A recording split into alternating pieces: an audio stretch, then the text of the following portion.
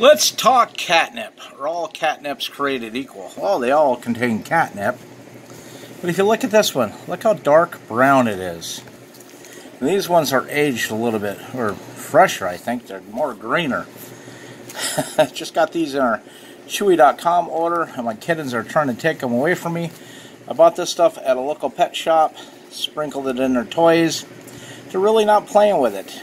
It looks a little old. It looks a little dark green cats like this green stuff.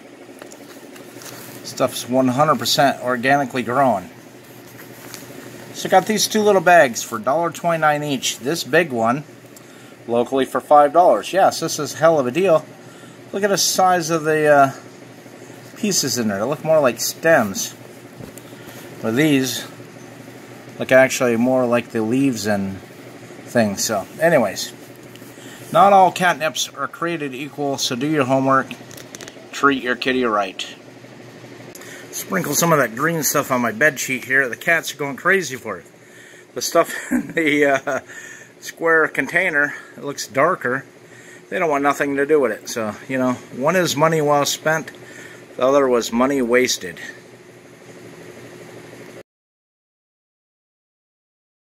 Okay, so I got some catnip Brought it back from the garden, harvested it, cut it down into little sections, put it in a bucket. Put on a sheet pan here. I got it in the oven at the lowest setting, which is 350. I wish my oven would go lower.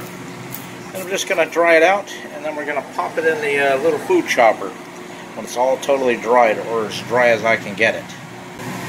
So our pan of catnip pretty much all dried out. The leaves are dried to the point where some moisture left them. The stalks may have some moisture, but not worried about the stalks.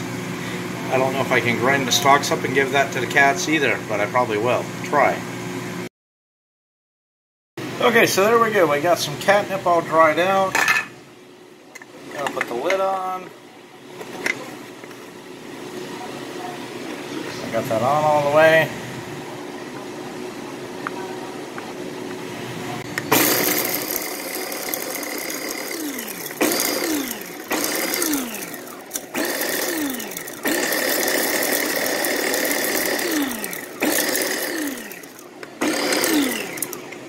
Think that's grinding up pretty good. Let's see what we got.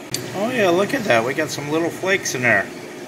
Got some stems left in there. I'll have to break those up, but not bad. Let me pulse it a few more times.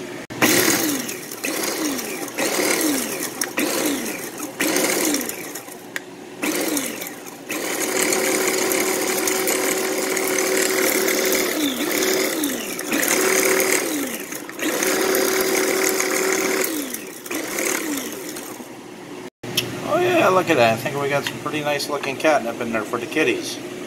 Dump it into a container now. so after all that grinding, all those leaves, we got maybe three tablespoons. So, good quarter of the pan for three tablespoons of catnip. I'll do this more and then I'll report back. There you go, I got about a cup worth of uh, catnip for about a gallon and then we're left with about that pile of stems. This is not a very uh, yielding process. I thought I would get more than what it's worth. I have $11 and probably three months of watering into the catnip and that's not even $5 worth that I buy at the store so huh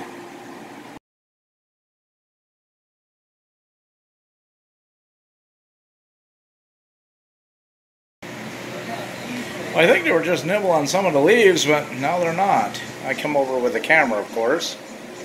Oh, there we go. Leo's eating some. Louie's eating some. Catnip, how can you resist? They'll get hot and go sleep it off like a damn pothead.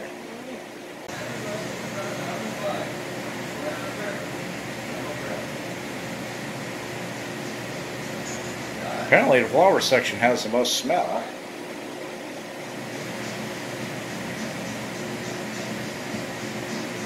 When I was cutting it down, it was loaded with bumblebees. Apparently bumblebees like the flower of it too.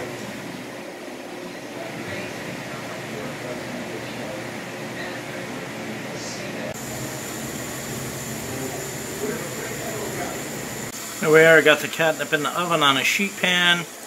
Got the oven set for 200 degrees. I got a cat food can propping the door open. And uh, I gave it two hours. And we got an hour and 23 minutes left on it. Okay, the catnip, the timer on the stove says it's got 45 minutes to go, so I'll try to flip all this without making a mess over my kitchen countertop. Seems to be pretty dry, top and bottom.